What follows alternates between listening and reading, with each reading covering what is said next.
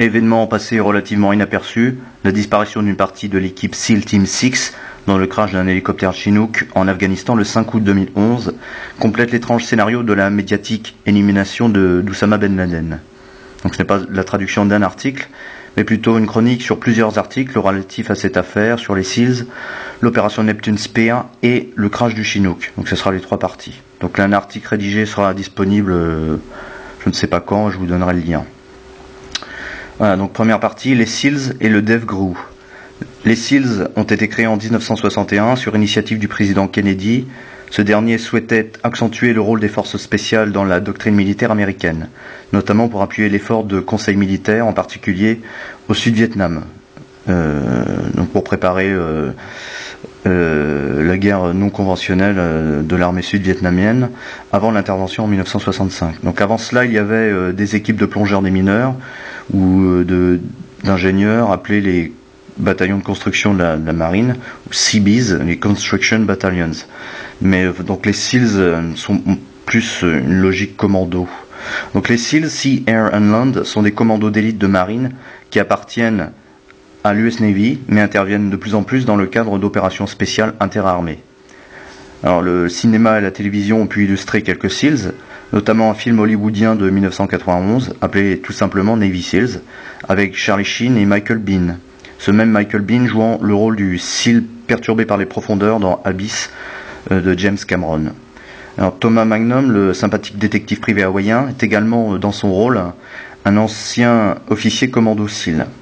Enfin, Jesse Ventura, l'ancien gouverneur du Minnesota et euh, personnage de télévision, lui a fait un réel passage dans sa jeunesse dans les unités de plongeurs démolisseurs des SEALs.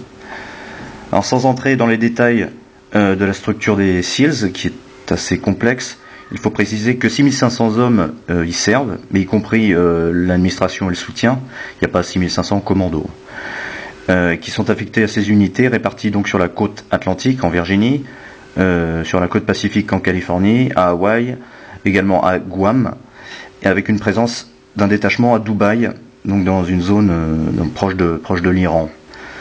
Alors, l'entraînement est extrêmement dur au point de vue physique et mental, avec des nages intensives, de la plongée sous-marine, la résistance aux, interrogatoires. Et Jesse Ventura a pu dire qu'on lui avait fait subir euh, en entraînement le waterboarding et qu'il était prêt à faire euh, subir cette expérience à, à, Dick Cheney pour lui montrer ce que c'était. Voilà. Donc un entraînement très très physique. Donc ce ne sont pas des Christophe Willem. Voici quelques photos pour faire plaisir aux demoiselles. L'équipe SEAL Team 6 a été dissoute officiellement en 1987, en tout cas son appellation, bien que toujours qualifiée de Team 6 dans la presse. C'est plutôt DevGru qu'il faudrait l'appeler, ou US Naval Special Warfare Development Group, NSWDG, ou groupe naval de développement du combat spécialisé. Donc les autres euh, équipes SEAL ont conservé leurs chiffres, mais le, le 6 a disparu, il faut parler maintenant de DevGru. Donc cette unité a participé à la plupart des opérations militaires américaines, à l'île de la Grenade en 83, Panama en 89, la Somalie en 92, la Bosnie en 93 et, l'Afghanistan. Sa fonction première est d'assurer des opérations de contre-terrorisme dans les zones maritimes et sur les côtes. Elle a participé à des opérations dépassant ce strict cadre maritime. Euh, pour participer euh, à des opérations d'exfiltration d'otages ou de personnalités comme le président euh, haïtien Jean-Bertrand Aristide. Alors voilà, pour cette rapide présentation de, des SEALs. Deuxième partie, l'opération Neptune Spare et l'hélico mystère. Donc le 1er mai, l'opération Neptune Spare, donc c'est le trident de Neptune, est menée par le DevGru avec trois hélicoptères, 24 SEALs dans la ville d'Abbottabad, euh, au Pakistan, plus euh, deux hélicoptères MH47 Chinook de l'armée de terre en appui réserve euh, au cas où. Tout ça pour une intervention chronométrée à 38 minutes. Donc la presse euh, donnera plusieurs versions contradictoires sur le déroulé de l'opération dans les premiers jours de mai et l'attitude d'Oussama Ben Laden, tantôt combatif, tantôt réfugié lâchement derrière son épouse, tantôt passif. Donc une chose est sûre, c'est qu'un des hélicoptères a été détruit, un hélicoptère d'un genre inconnu en jugé par la queue de l'appareil. Voilà. Donc en fait, c'est la queue qui est tombée de l'autre côté du mur de la propriété de Ben Laden a survécu à, la destruction intégrale. Donc le mieux dans ce genre de situation, c'est de se rapprocher de James, le consultant et éditeur spécialisé dans les armements, pour essayer d'obtenir quelques détails. Euh, James produit des quantités d'ouvrages, euh, des livres et des revues sur tous les matériels et armements depuis 1898. Hein.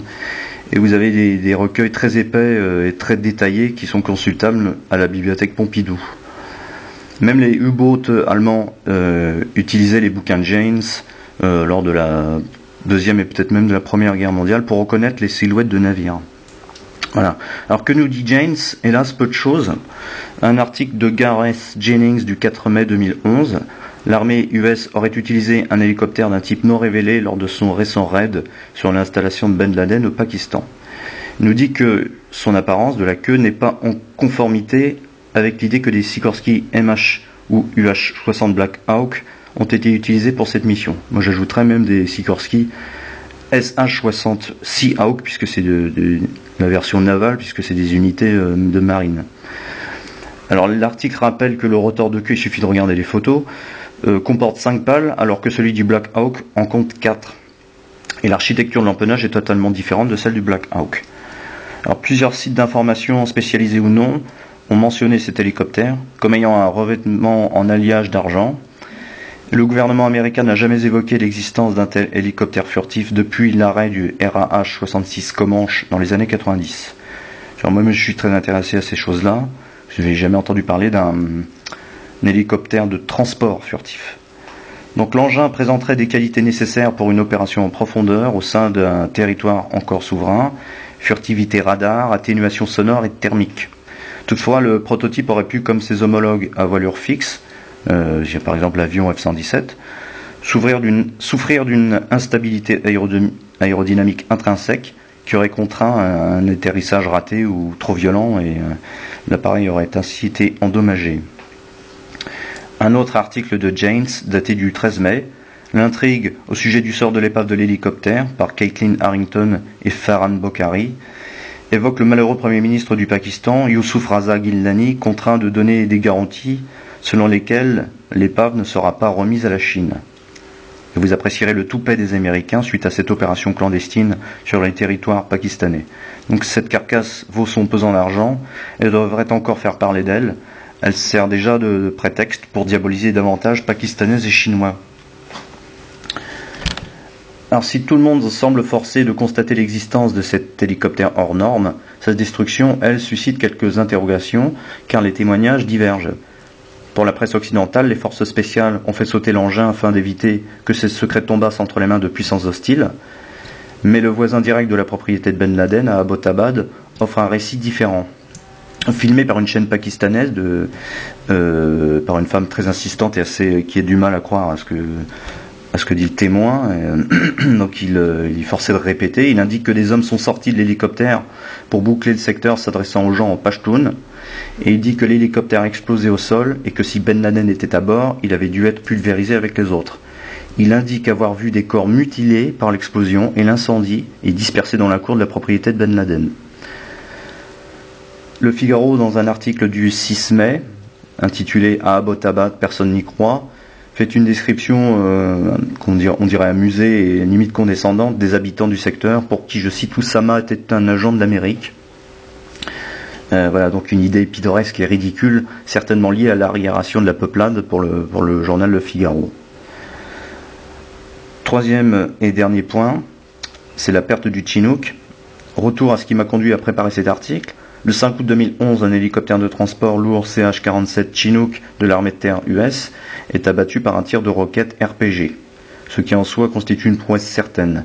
La roquette n'est pas autodirigée comme un missile sol-air Stinger ou SAM-7 par exemple, il faut se tenir à courte distance de la cible hein, et tirer au jugé sur une, cible en déplacement, tout en s'exposant aux éventuels mitrailleurs de, sa bord quand il y en a.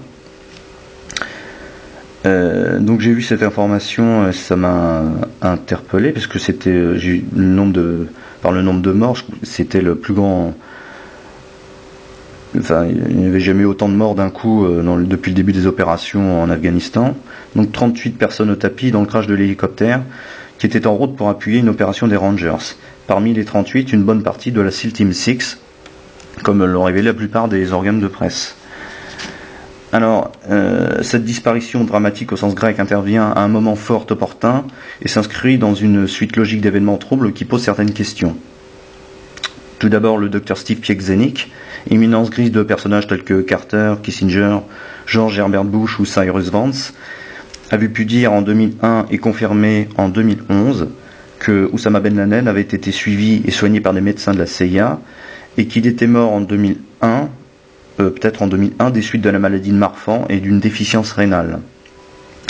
La question est donc de savoir qui a pu être tué le 1er mai 2011 à Abbottabad. L'équipe SEAL devait sans doute se poser la même question. Deuxième interrogation, c'est l'hélicoptère de l'opération Neptune Spare a-t-il été saboté par les forces spéciales, comme nous le dit la, presse occidentale, ou bien a-t-il explosé avec l'équipe SEAL à bord, comme nous le dit le voisin de la propriété Ben Laden? Enfin, la perte du Chinook le 5 août 2011 avec une bonne part de l'équipe SEAL 6 peut-il être euh, rapproché de l'exemple de la mort de Pat Tillman? Alors, qui est Pat Tillman? Une star de football américain, un linebacker, qui s'est engagé dans les Rangers et envoyé au front en Irak et en Afghanistan comme figure de proue du patriotisme à belle gueule carrée. Pat Tillman avait été tué en avril 2004 L'enquête officielle est illustrée dans le film euh, documentaire The Tillman Story en 2010 révéla que Pat Tillman avait été tué non par les talibans mais par un tir ami. Donc c'est la famille qui avait fait pression sur l'armée pour que l'on révéla le, résultat de l'enquête médico-légale. Il avait été touché visiblement par les troupes américaines avec des balles de 5,56. Donc une disparition très utile pour l'effort de guerre car selon ses camarades, Tillman était de, plus en plus hostile euh, à la guerre et à Bush. Donc c'est un témoignage, enfin ses camarades en témoignent euh, dans le San Francisco, Chronicle. Et il comptait bien médiatiser son nouveau point de vue auprès de Noam Chomsky. Alors Noam Chomsky euh, en a parlé lors d'une interview radio. Il a dit qu'il avait bien été contacté par Pat Tillman, mais qu'il n'avait pas eu le temps de le rencontrer. Donc on pouvait se douter que s'il qu'il entendait bien utiliser sa renommée pour euh, euh, critiquer des guerres qu'il disait illégales. Voilà, une affirmation reste à être vérifiée, c'est que la SEAL Team 6 et les, familles des, membres de l'équipe entendaient peut-être aussi révéler quelques inconvénients de vérité sur Ben Laden. Dans un article du 12 mai 2011 euh, de la BBC, on apprend que M. Gates, le secrétaire d'État à la Défense, a révélé que l'équipe de Navy SEALs a exprimé son inquiétude quant à sa propre sécurité et celle des familles. Alors que faisait cette équipe menacée mêlée à des soldats afghans dans un encombrant hélicoptère de l'armée de terre, à portée d'une vulgaire grenade propulsée? Et surtout, qui bono À qui profite cette disparition? Et est-ce que la presse grand public se pose ces questions? Je personnellement j'en doute.